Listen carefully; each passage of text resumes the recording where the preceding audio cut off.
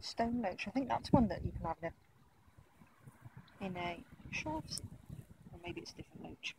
No, maybe it's a different one. I was thinking then, I'm sure I think it looks similar though.